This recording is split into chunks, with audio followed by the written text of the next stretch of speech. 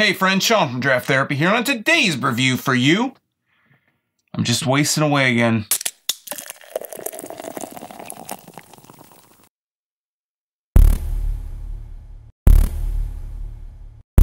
Lost Shaker of Salt is a 10% blonde ale aged in tequila barrels from Oddside Ales in Grand Haven, Michigan. I've been really happy with most of the beers that I've had that have been aged in tequila barrels, and interestingly enough, I just reviewed Founders Mas Agave last week, which is an Imperial Gose aged in, you guessed it, tequila barrels. Now, it seems like Founders and Oddside have this kind of TikTok relationship uh, sometimes, and I, I think I noticed it first last year with Founders Solid Gold and Oddside Ales Beer Me. Now, I have no clue if that means anything to anyone else, but I thought it was interesting regardless. The other thing that kind of caught my interest with this beer is that it's a blonde ale, and Oddside's Bean Flicker is also a blonde, so I'm, I'm kind of curious if this beer shares the same base as Bean Flicker. Again, don't know if anyone else cares, but I, I, I just thought it was kind of interesting. So, enough with all the rhetorical questions. Let's get this beer into a glass. Fun fact Jimmy Buffett started his career as a country artist in 1970. So, I'm going to grab my my regular old Belgian glass here, my, my snifter, and we're going to take a look at the can here. It's a really cool can. I really like this label. I mentioned on, on my Instagram, which you can find the link below in the description. Oddside, it seems like with Oddside's newer labels are going in this more kind of modern direction. They're, the fonts are changing a little bit. Some of the artwork is staying the same, but it seems like the font is going away from this hand lettered font into this new um, Oddside font. I don't know what, exactly which font this is, but the can itself has this really cool, like sunset looking background. The top of the can is silver with these palm fronds on it, and it has a gradient of like a dark, darker sunset going into blue, and then this red sand beach and it has Oddside with the three hop cones, and it says Lost Shaker of Salt, Imperial Blonde Ale aged in tequila barrels with lime and salt added. And then on the back here it says Lost Shaker of Salt, sweet and malty with bold notes of tequila barrel aging, nicely finished with citrus and salty goodness. 10% alcohol by volume. And then it has brewed and canned by Oddside Ales in Grand Haven, Michigan, oddsideales.com, and then their Facebook symbol, Twitter, Instagram, and YouTube. I have to check out their YouTube. I don't know if I've seen it lately. I have looked at it before though. And then this was manufactured or canned on April 9th, 2019. Today is May 11th. Saturday, May 11th that I'm recording this video. I have a little bit of a cold, so hopefully that's not going to interfere too much with my being able to smell this and taste it. Uh, I haven't had too many problems today, so that's why I'm recording it. Usually I record on Sundays, if you care. So, put a nose on the can here. I'm smelling a bit of tequila. But it has a blonde ale scent too. The tequila's coming through pretty good. It's not like overpoweringly limey or, or you know, it's not an overpowering tequila. Again, my sniffer's a little off. Mas Agave, I picked up a massive lime and, te and tequila, like right out of the can. Let's go ahead and pour this and we'll get a better look at it. It's coming out a little darker than I would have thought out of the can. It's a little bit of a darker yellow. And then collecting the glass, it goes to more of an orange color.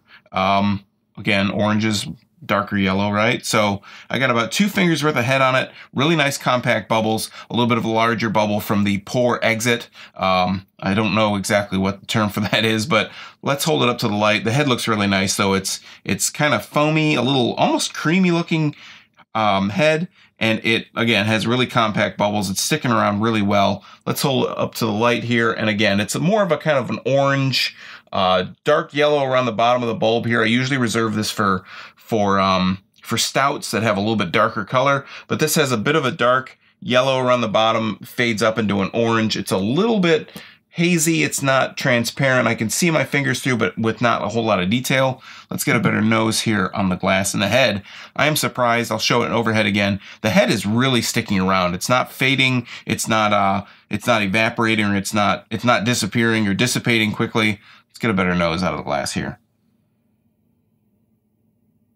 So I pick up a little bit more on the tequila out of the glass, out of this larger kind of, um, you know, the aromatics are being pushed through this glass. That's why the glass kind of goes up and out. So it pushes kind of the smell or the, the aroma up in, up out of the glass. But again, I'm getting a little bit more of a tequila scent directly out of the glass. I wasn't getting so much out of the can, but I, I got a lot more out of the glass here. Actually, the more I kind of smell it, the more tequila characteristic I'm getting out of it. So I'm going to go ahead and dive right in. Looking forward to it. Cheers.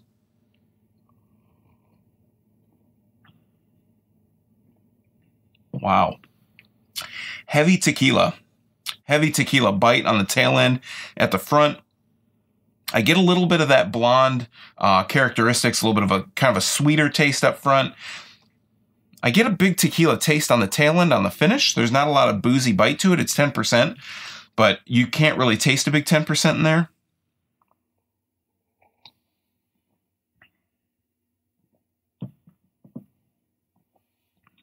The tequila is definitely in there very well. It's mixed in very well. This is like almost a vessel to bring you that tequila barrel aged taste.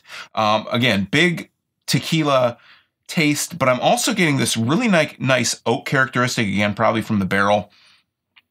It's almost this, um, I mean, it's definitely an oaky kind of woodsy taste. It's like a drier kind of taste in there. The finish is actually kind of dry on this. Um, but again, the alcohol isn't really strong. It's not doesn't have a real strong alcohol bite on the tail end. It has definitely has a big tequila taste up front and a big tequila taste, a big tequila finish. But when I say alcohol bite, there's not a lot of a burning. Uh, again, 10% tequila. I was expecting to have kind of a big um, alcohol bite to it, a really harsh kind of burning, but that's not here at all. This says that it has lime and sea salt. I can definitely taste lime in there.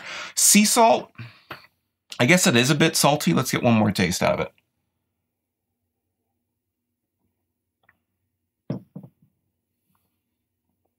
Yeah, again, up front, big tequila. When I say tequila, I almost kind of throw in the lime as an afterthought. It has a lot of lime taste in there as well. It's all in the forefront. You do start to get a little bit of that saltiness on the tail end, along with a little bit more of the lime carries through. And then on the finish, again, it's got big tequila, a big tequila finish with a lot of oakiness that kind of just hangs out in your on your palate on the aftertaste. This is really good. Again, I think this is quite a bit different from Founders Mas, Mas Agave. And the reason I say that, this doesn't taste so much like a margarita. It tastes a little bit more like just a sipping tequila, like sipping tequila with lime in it with a little bit of salt. Whereas Mas Agave tasted like straight up like a um like a margarita. I think that added agave and also that that was um, originally a gose kind of adds to that a little bit more. I think with Lost Shaker of Salt, the the you're getting the blonde doesn't carry through as much sourness as the Gose did, um, but it carries through a really good again a really good vessel for tequila flavor, lime, a little bit of that sea salt. I do get that, and a lot of oak barrel tequila barrel on the finish, and I like that about this. Um, if I had one critique, I would say maybe and I know that you know that it's aged in in tequila barrels, so you're just going to get this out of it. But that oak is kind of really strong on the aftertaste. I would like that maybe cut a tiny bit, but overall, I like the taste. It's just it kind of hangs in your mouth. The big aftertaste on this beer is the big oak finish. But overall, I like it. I think it's a good solid, a good solid blonde, especially if you like tequila. And you're getting everything they mentioned on the can. You're getting the the tequila flavor, you're getting the lime, you're getting the sea salt, and you're getting the sea salt a little bit maybe less than everything else, but you're getting that big oak barrel finish. And I think that odd side, you know, again, they're they're following Mas Agave, which is probably going to be really hard to do, but I think that they're they're different, right? With the Mas Agave, you're getting more of that margarita flavor, and on this you're getting more of that sipping tequila flavor. And I think either way you can't go wrong. If you're a tequila fan, I would say to go after it. If you're not a tequila fan, though, I would say that if I had my choice between the two, I'd probably pick Mas Agave just because it's got a little bit sweeter with the agave added in there. And again, it's a little bit more of a margarita style. But I think if you're a tequila fan, and you, especially if you're a sipping tequila fan, this one is definitely up your alley. Lost Shaker Salt by Oddside is a definite tequila sippers beer. That would be a perfect tequila sippers beer. All right, friends, that has been Lost Shaker of Salt from Oddside Ales. Have you had this or do you have a favorite tequila barrel aged beer? Let me know in the comments down below. While you're down there, if you like Michigan beer, you might want to subscribe because I'm here talking about Michigan beer twice a week on Tuesdays and Thursdays. It's all free for viewers just like you. And I would hate for you to miss your next favorite because you weren't subscribed to the channel. Also, if you click that bell, you get notifications anytime I publish a video. And just a reminder, you can also win some draft therapy goodies by leaving a question for an upcoming Q&A video I'm going to have on the draft therapy hotline at 224 draft 20. So until next time, I'm Sean from Draft Therapy. Thanks for stopping by. And remember, drink craft beer, support your local breweries wherever they are, and most importantly, don't forget to treat yourself to a little draft therapy. Thanks for watching. Cheers.